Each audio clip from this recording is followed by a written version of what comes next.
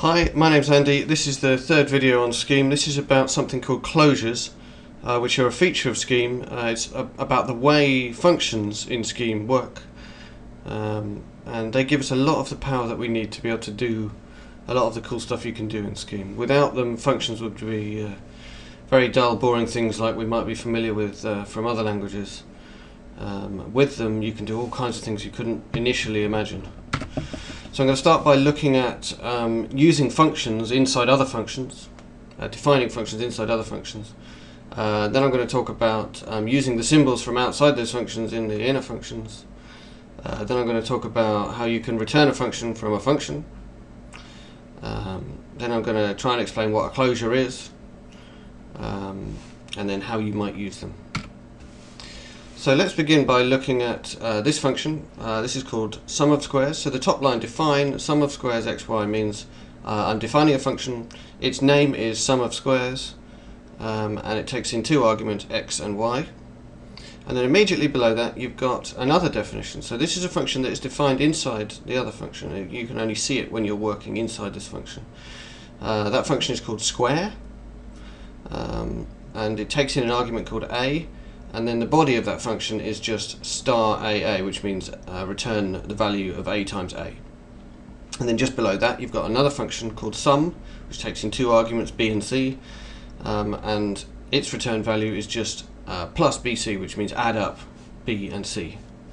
And then at the bottom, you've got the the real body of the original function. So the sum of squares function is defined to be uh, the result of calling sum uh, on two values which are the result of uh, calling square. So basically we square x, we square y, and then we return the result of adding those things together.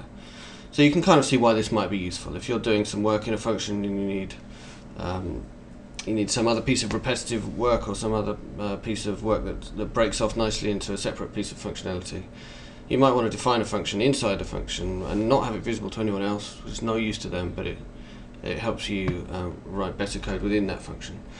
So um, you can do this in Scheme. So once you've got your head around that, we can move on to the next thing. So now let's define another function. And this function is something we're going to use later, which is uh, or why it looks like it does, which may be uh, slightly uh, uh, more complicated than we would needed to explain this feature, but we're going to use this later, so bear with me.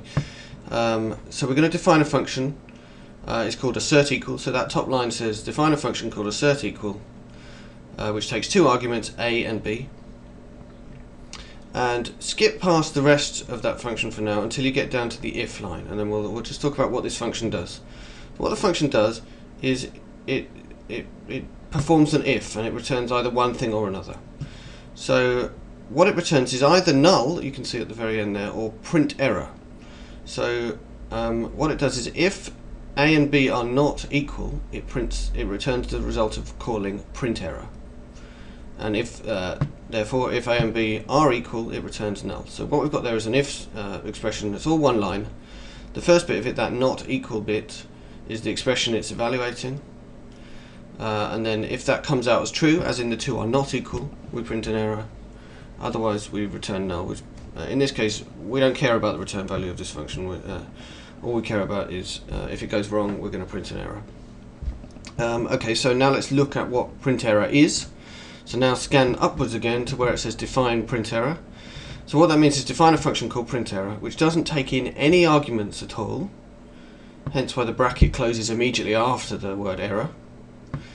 And then the body of that function is display A, and then display is not equal to, and then display B, and then new line. So display just means print. Means print out to the console or wherever um, the value of the thing. So the second one down there, it prints out a string. But the first one and the third one, A and B, they print out values. But notice that those um, values that they're printing out have not been passed into this function. So print error doesn't take any arguments. But print error is able to access uh, symbols that are defined in the function that contains it. So if you define a function inside a function, the inner function can access the symbols of the outer function. And if you kind of override them within the inner function, then you get the overridden version. But if you don't, uh, you can see the outer version. So let's just check this working. So uh, lower down, you can see we're running that little arrow there means we're running something. So what we're running is um, the procedure assert equal and we're passing in an argument of 3 and another argument which is plus 1, 2. And as we know, uh, 1 plus 2 does equal 3, so when you run that, assert equal does nothing. Um, and when you run assert equal 3 plus 2, 2, which means 3 equals 4, um, then assert equal complains and says 3 is not equal to 4. Okay, so this function works. That's what it's supposed to do, that's what it does, right? Uh, pause this if you want to look through it again. So, uh, let's look at another example of this. Let's imagine we've got um, a procedure called circle details. Um, and what that does is, if you if you pass in the radius of a circle, it will print out the area of the circle and the circumference of the circle. So as you can see at the bottom, um, if you uh, if you call this function and pass in 3 for the radius, uh, you'll get back 28.0 and 19.0. Um, bear in mind that I've approximated pi to 3.14 here.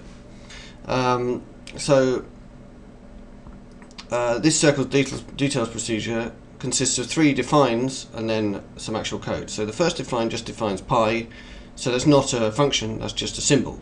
Define the symbol pi to be 3.14. Um, and then define the next line down defines a procedure called area, which takes no arguments, but it returns the result of rounding uh, the result of multiplying by uh, pi, multiplying r by itself and pi. So when you've got three things in a in a multiplication like that, star, pi, r, r, that means multiply them all together.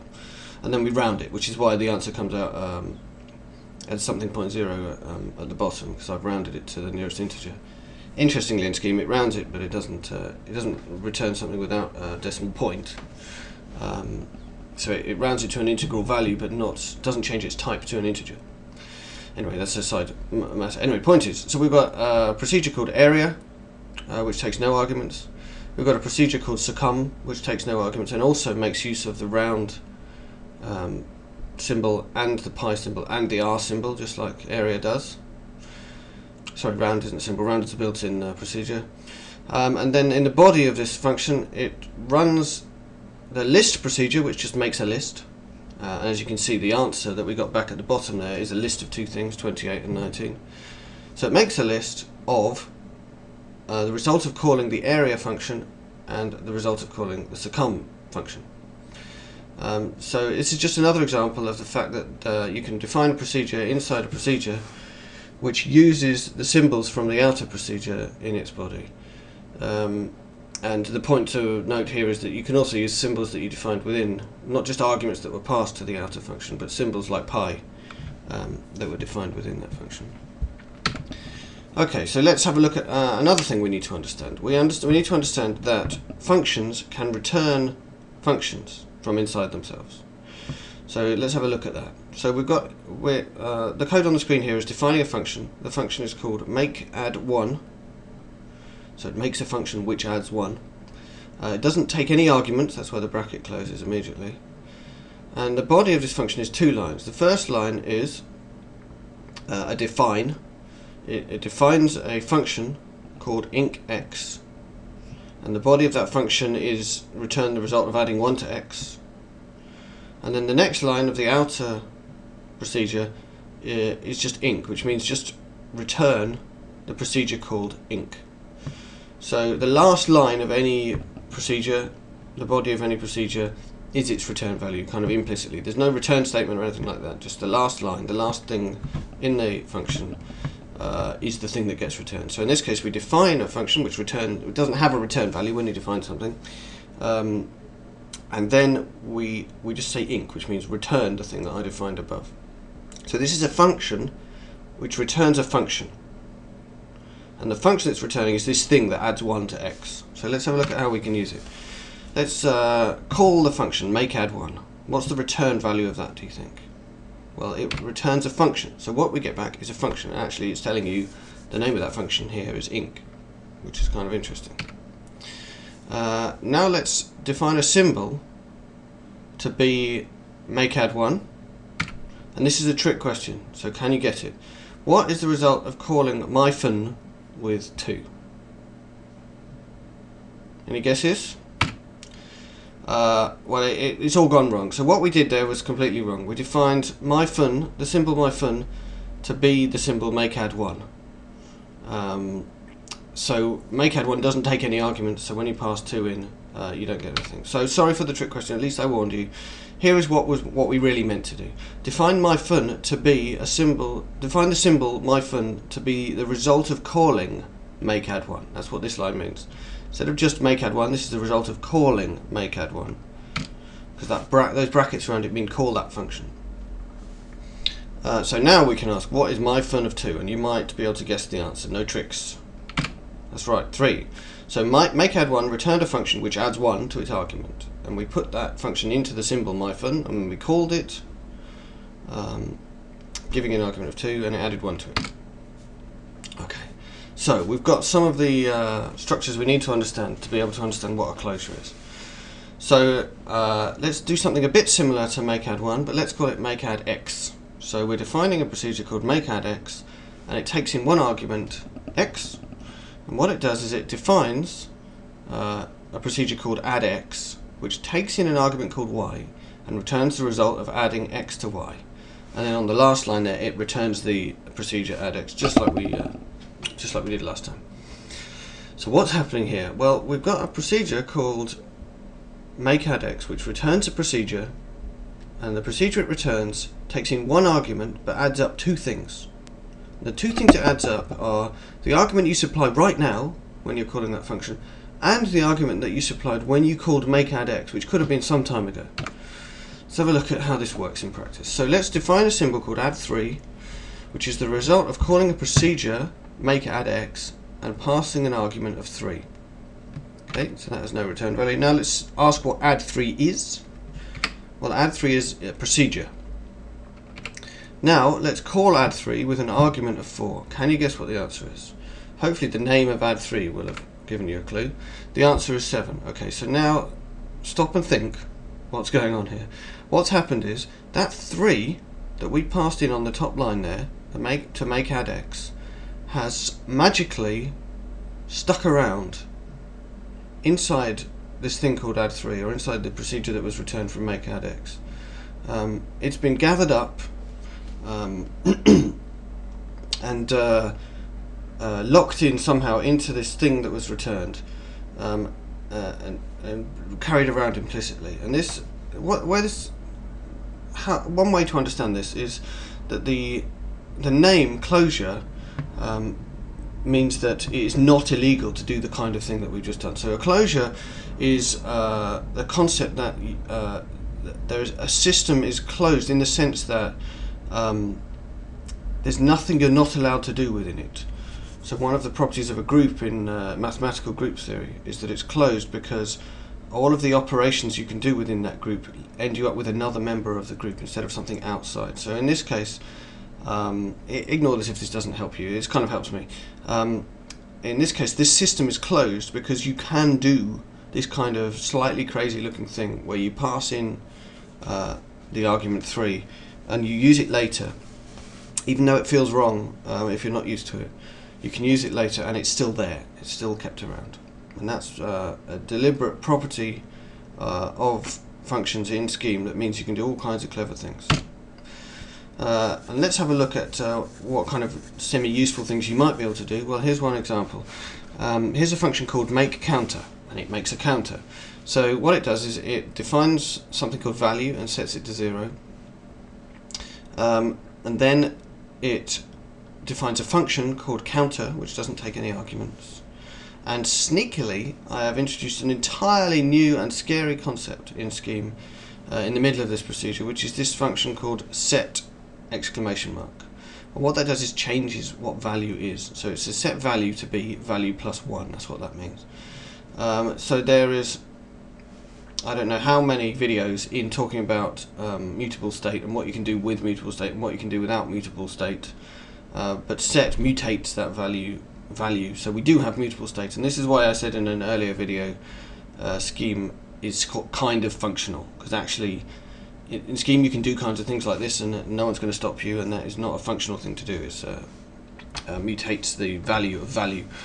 Um, anyway, that's a, a sidetrack, but uh, let's carry on. So what we are defining is a procedure called counter, which changes the value of value and then returns the value of value. And the outer procedure simply returns that procedure called counter.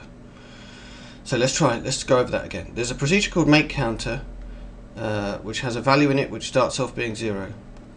Um, and it returns a procedure called counter. And what counter does is increases the value by one and then returns it. So let's make one. So let's define a symbol called counter, my counter one, which uh, is the result of calling the make counter function. Uh, what happens when we call this function? Well, it returns the value of value. So once we've run this function, what is the value of value going to be? Well, it started off zero, and then inside the uh, the counter procedure, it was incremented. It was set to be the value plus one. So what happens when we call it again? Whoa. Well, that makes sense, right? So the this this symbol my counter holds on to a reference to a function which has a closure, uh, and what and part of that closure is this value value, and uh, it sticks around. It stays with this procedure the whole way through. So um, when you call it again, it increases the value of value again, and, and returns it and uh, you can keep going. It, it holds on to it. So this this number, which started off as zero and has come through and is now three, it belongs to this procedure. It is it is part of the closure of this procedure. So let's define another symbol, which is the result of calling make counter again. So what's the answer when we run uh, the, uh, this symbol my counter 2 as a procedure? Well, it's the same as what we did before. It's 1 the question that may well be in your mind is what's happened to my counter 1? Um, what's happened to that value that was hanging around with my counter 1? Well, the answer is it's independent. So every time you call make counter and then return a procedure from it, uh, that procedure gets its own closure. So my counter 2 and my counter 1 are quite happily um, holding on to different values of this symbol value. They each have their own closure because when you called make counter again you got another closure. So let's have a look at one other way we might use it. So uh, we had an example of a bit you can count, you can keep independent counts going. Here's another example of how you might use it, and I do this kind of thing a lot in uh, JavaScript. So the first thing we need to do is talk about a function which I'm calling shout, uh, which uh, we, are, we want to test. So before we test it, let's have a look at what it is. So here's a function it's called shout. It takes in two um, arguments. One is called display fun, and one is called text. Let me just check. I'm plugged in. Yeah. Okay. So. Uh, what shout does is it uses the display function that you passed in, which could be, you know, it's like a print function of some kind. Um, it uses it to display the result of this whole a load of code here, um, which I won't explain. Um, if you want to pause it and look at it, it, it makes sense, but I will tell you what um, the shout function should do. Maybe you can guess. So um, if I call the shout function, I pass in the normal display function as the display function, and I pass in the string boo. Shout will shout boo at me. Okay, so um, that's what shout does. Um, so now let's imagine we want to test it. So that's the reason why we pass in a display function because we want to be able to capture that uh, displayed value instead of printing it out uh, and test it. So let's define a test. Let's call it test shout displays uppercase, which uh, is intended to be a um, behavior-driven development style test name. Um, so it states the requirement. The requirement is that shout displays what you pass it in uppercase. So um, let's define a symbol called displayed. That's going to collect what was uh, displayed. Let's define that symbol uh, and make it the empty string. And then let's define a fake display function, uh, which we're going to pass in as that first argument to shout. So it's going to collect the, the displayed value. So this function is called fake display, um, and it takes in an argument called text and what it does is it sets that symbol displayed to the value text Um, so the symbol displayed is from the from the outer context as part of the closure of this function if uh, if it was returned. Um, so what we do then is, uh, once we've got that set up, set up, we then call the shout function. So we're talking about the second last line here. So we call the shout function, we pass in the fake display function as our display function, and we pass in a string hello Andy uh, to it. And then we use the assert equal procedure we defined earlier to say the displayed function, uh, sorry, displayed symbol um, should be hello Andy! Um, and this test passes when you run it. So uh, what that means is nothing gets printed out. If the test had failed, it would have printed out, um, you know, something is not equal to something. Um, so we're not really using the closure here, we're using the outer scope. The reason I wanted to use this um, example is this is something I do a lot in JavaScript. I have a test function, um, I have a variable that I set to null or something at the beginning, uh, and then I, I provide some kind of function which is overriding some function of the thing I'm testing. Um, and in that bit of test code, I set the variable that I originally created and, and, set to null to something useful. And then at the end of the test function, I check that uh, that it's not still null, that it was set to the thing I expected it to be set to. Um, it's a really nice way of working, which uh, is particularly good for this kind of highly dynamic language like JavaScript or Scheme. Okay, so now we're going to get to the hard bit. Okay, so this is another use of the closure of a function and what it is, what it's going to be, you, you may find it hard to accept, but this is going to be a simulation of a class in Scheme. So Scheme doesn't have classes, it only has functions, uh, also called procedures, seemingly interchangeably by me in these videos. Um, uh, but we can, we don't care, we don't need classes because we can make them. We can write a function which simulates uh, a class. And uh, bear in mind, we can we, we can do a much better job uh, of making this easy to use than what I've done here. Um, what I've done here is um, it's supposed to be simple for you to understand now, but if we were really doing this, we'd make it a lot easier um, to use to make a new class or something like that. But anyway, we're going to define a, uh, a class which we could think of as being called balance or bal. Um, so there, uh, there's it, this class has a constructor, and the constructor is this function make balance. Uh, and the constructor really contains the definition of the class. There's nothing else for you to wait for. This is it. Uh, this is the class. Um, but the way the way you need to think of it is that this is the constructor, but uh, it also defines the class. So um, the reason I say it's the constructor is because you call this function to make a new one of this class. So you call make balance, and the return value of that is a balance object. So enough waffling.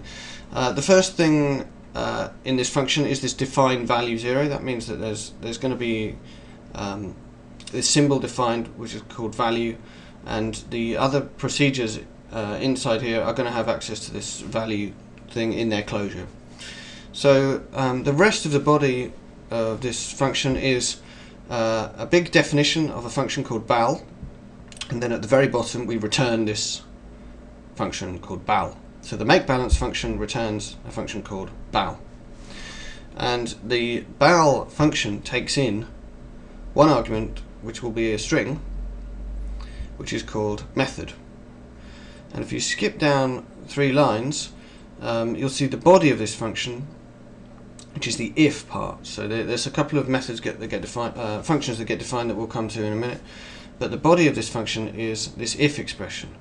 So um, you've passed in method to this function bal and what this function does is it checks what method is equal to. So if method is equal to add, it returns something called add method. Otherwise, it returns something called get method. So you, I would expect normally you would pass in the string get and, and get the get method, but actually you can pass in anything except add. So that's just a detail.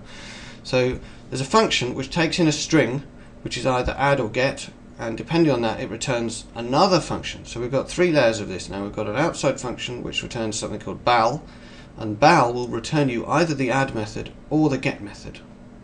Following me so far? So what does the add method do? Well, the add method takes an argument called x, and it sets value to be value plus x. And what about the get method? Well, the get method takes no arguments and it returns you value. So, hopefully this will make sense when we see it being used. So let first of all, let's make a symbol called a which is one of these balance objects. So um, A is going to be set to the bal that got returned from make balance.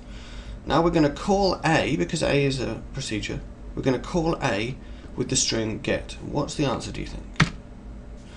Well the answer is uh, a procedure called called get method. Okay, so what's the use of this?